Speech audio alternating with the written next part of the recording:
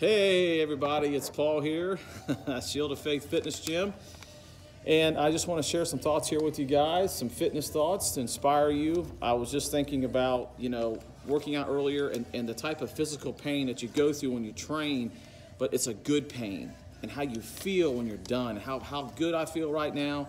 You know, earlier today, I felt like I was in a funk, felt like I was in a cloud. And I realized I hadn't had, had, my, had my prayer time yet, so I went into my prayer time. I spent time with God. I got in the Word of God. I got my, my faith focus right. And then I come down here and I got my workout in. And it's like a 360, guys. It's a total night and day difference. So I want to read to you guys here. When you exercise, your body releases chemicals called endorphins. These endorphins interact with the receptors in your brain that reduce your perception of pain. Endorphins also trigger a positive feeling in your body similar to that of similar to that of morphine. Now I've tried to do this video like three times. Text messages coming through calling. So I'm gonna try again. Hope I don't get interrupted here as I'm making this inspirational video for you guys. So, so listen guys, here it is. Just you got to take care of yourself. I'm, tell you something right now. I have a home gym and I have obviously my gyms and I'll work out at my home gym and then I'll come here. And I'm gonna tell you something, it's a night and day difference. When you're at home, you, you got your, you know, you got your laundry going, you got you got the kitchen there, you got your bill sitting on the counter, you got all these distractions, all these things that just distract you and keep you away from getting the full benefit of your workout. But when I come to a to the gym, it's an atmosphere that's created for one thing, for you to exercise and to work out. My workouts are night and day. And I know a lot of y'all last year, because of fear, have, have hidden away in your, in your garages or you got your little home gyms. I'm telling you, that's going to wear out. I'm telling you right now, I've done home gyms before in the past. I've done it twice in my life, and it, it's not the same as getting into the atmosphere of a gym. It's, it's, just the way it is, folks. It's a created atmosphere to, to get you motivated. You get better workouts. Your mind is clear. You don't have any distractions. The phone's not ringing unless you obviously you got your cell phone, but you don't have anything bothering you. You don't hear the dryer go off. Oh crap! Or the washer, I got to throw that in the dryer. And you skip a set or whatever you do. The gym is where it's at, guys. Stop living in fear.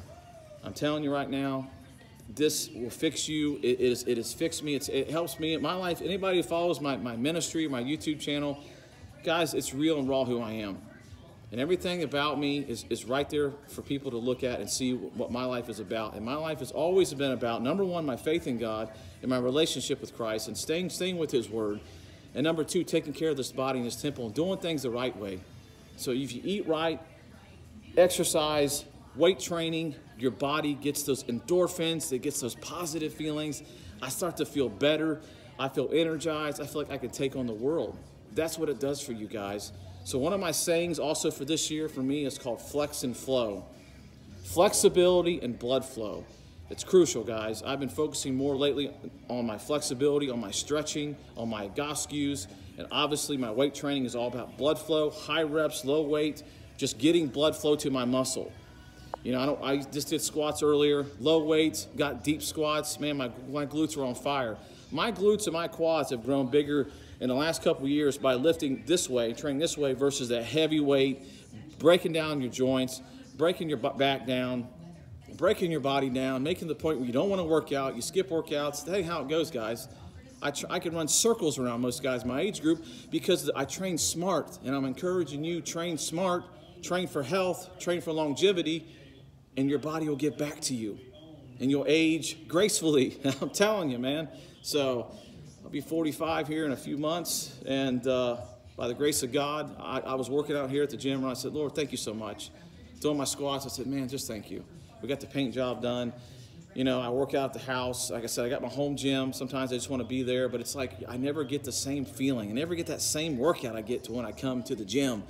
And I was here tonight, here earlier this afternoon, just thinking, Lord, thank you so much for this. It's a blessing, guys. Take advantage of it. Get in the gym. Be committed and your body will get back to you. And don't just come in here and do a couple stretches and a couple exercises and leave. That's not a workout, guys. Do a whole body workout or break it up in different muscle groups or different days. Give your body that chance that it can give back to you, okay?